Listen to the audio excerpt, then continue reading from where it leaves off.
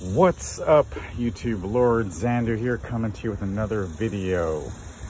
I know I did some quote uh, painting, how it relates to 40k videos or painting black, but now I have a special treat. All right, so I'm cleaning out uh, like the study. You know, we're re repainting walls, doing other stuff, so I had to move my comics. So I filled up my uh, Honda Pilot with uh, my main set of comic books. So here we have 21 long boxes of comics. Uh, I got like Batman and Spider-Man, X-Men, Captain America, Fantastic Four, uh, Ghost Rider. I got Aliens, Predator, Terminator. I got all kinds of stuff here, but 21. So just check this out. Uh, like I said, I think my first comic book I picked up when I was nine, but as you can see, 21 boxes. So there's a, a stack of three there, so 369.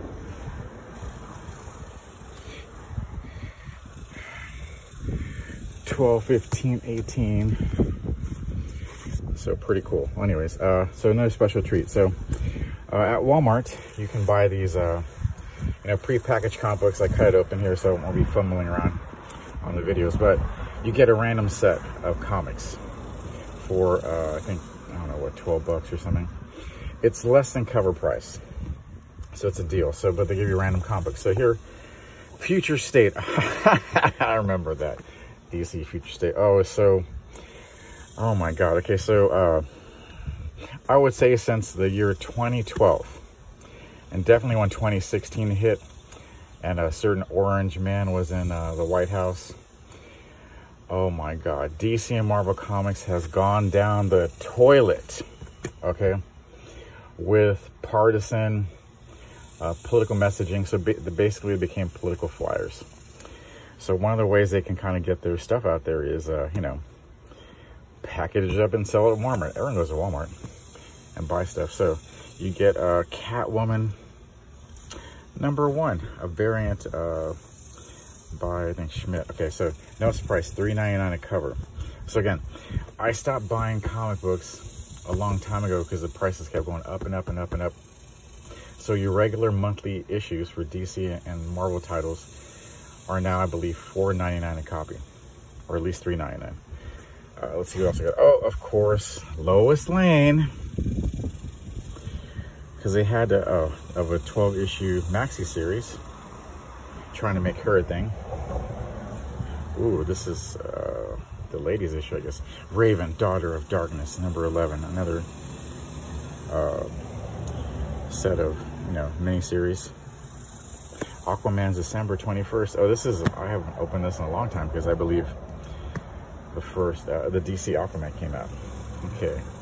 And of course, Justice League Odyssey number 20. So this is, of course, Cyborg.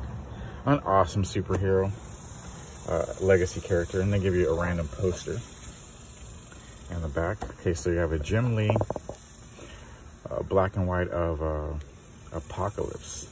So you have the Justice League bound before me, of Batman bound, Green Lantern, The Flash, Wonder Woman, Aquaman, Superman, trashed out in the back, all beat up. So yeah, so you get four great DC comic books and one poster for the price of one.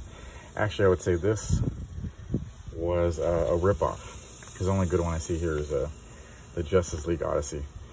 This one, I believe it's probably a crappy issue. Maybe I'll review it later. Lois Lane, that was a trash series. I love Catwoman. Uh, all right, so back to this. So I have 21 long boxes. And then uh, walking over here, and my uh, Kia Sedona. I'm not going to show you the license plate here, cause I'll show you too much here, but I have 10 short boxes. So one, two, three, four, five, and five there makes 10. Let me just give you a little sampling of what's in here.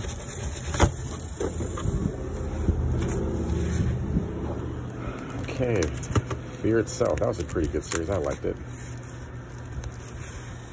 Itself, yes. Captain America's shield was broken by Thor's brother. God of Fear and Death. Fear itself, Dracula. Oh, Hulk takes on Dracula. That's pretty interesting. And then Spider-Man. Spider Island when basically everybody became Spider-Man. A verse X. Avengers. That's the second printing. Okay, Scarlet Witch, and then of course uh, the other Phoenix, of course Spider-Man, where he gets beat up by Colossus. So Averse X was a decent series. Okay, Uncanny X-Men, the more of a Okay, and then this Cloak and Dagger. Okay, let me be honest. These are my sister's comics. And she loved Cloak and Dagger. She actually went and bought a back issue. This is worth a pretty penny. Because this is like one of the earliest prints of Cloak, Cloak and Dagger from 1981. Again, no one knows who I'm, who I'm talking about unless you're a Marvel comic nerd like me. Or maybe watch that crappy TV show that they had a while back before Fox uh, went under uh, to Disney. Yes, so these are hers. But since I was a bigger uh, comic book nerd, and I'll admit, I went back and I bought my own Cloak and Dagger uh, limited series for myself. But she she's three comics, so I uh, support that. I remember we'd ride our bikes to uh, the local Circle K one that way before the direct market, because I think direct market was an abomination to the comic book uh, collectors. Because there used to be everywhere. There used to be at grocery stores, at, at gas stations. I mean, I think they still have them in Barnes and Nobles, I think. But yeah, there would be racks, spinner racks. Okay, Batman comics, limited series, Batman Chronicles. Yes, Batman. I think I have Batman 700 here, maybe. But anyways, Batman died and was uh, replaced temporarily by Dick Grayson. Yes, Batman R.I.P. Because uh, supposedly he got blasted by uh, Apocalypse's uh, Omega beam and died. So a bunch of Batmans in here. Gotham Knights. And then yeah, Gotham Knights was a good series. Oh, I love it. This was like the bomb back in the day anyways, that's just a small little sampling, but I have literally thousands of comic books that I've collected. Started when I was nine. I think I stopped when I was like, well, I don't want to say how old I am, but older. and that's, and I'll leave it at that. Well, anyways, uh, it's a hot Texas summer day. And uh, I just wanted to show that real fast. But you know, Image Comics when uh, Marvel artists and writers rebelled against DC and Marvel Comics for getting paid poop, and they made their own comic books and you know gave uh, DC and Marvel bloody nose. But I don't know. I think Lee like runs DC now, and I think he's doing a pretty crappy job running it. I think they should have him drawing stuff, but that's just me. But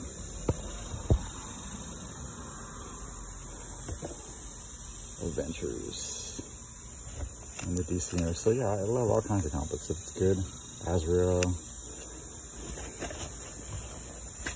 And then I wish I could show you my first comic, but I think I have to move all these boxes around, but it's an issue of the Fantastic Four. Back in the day when they were like 60 cents an issue. But anyways, uh, this video is getting too long. Thanks for watching. Leave a like, comment, subscribe, and tell me what you think of my comic collection. This is, you know, like I got a bunch of stuff that's unbagged and unboarded in my uh, study. But this is the bulk of it. Thanks for watching. Leave a like, comment, subscribe, and we'll see you at the next one. Bye-bye.